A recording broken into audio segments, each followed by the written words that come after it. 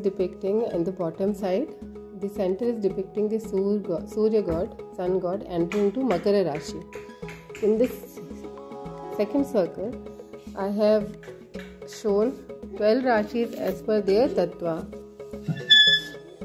Like starting from the Rashi number 1 Mesh, depicting in red Agni Tattva, Rishabh Rashi number 2 in Prithvi Tattva, green color, Mithun in purple colour depicting its nature of vayu tattva Kark in light blue colour depicting its nature of jal tattva similarly Singh in red green agni tattva Kanya पृथ्वी तत्व तुला वायु तत्व वृश्चिक जल तत्व धनु अग्नि तत्व मकर पृथ्वी तत्व कुंभ वायु तत्व and Meen jal tattva now during the time of Pongal and Sankranti the sun god enters to the Makar Rashi. Now, why it becomes so auspicious as per our, as per our uh, Vedic knowledge is that Makar and Kumbha is the Rashi of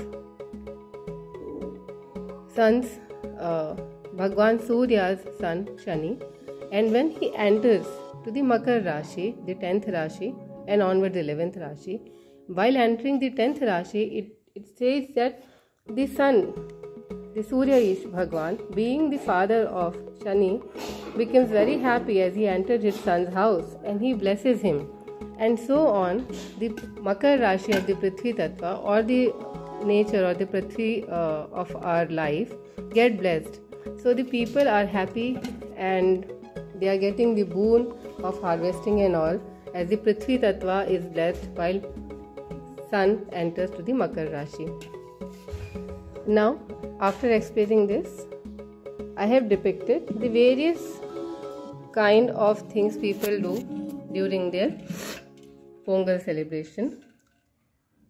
So, all these pictures depicting the enthusiasm and happiness across the nature and the animals and kids and elderlies and how we go and worship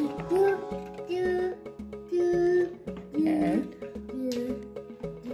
everything around.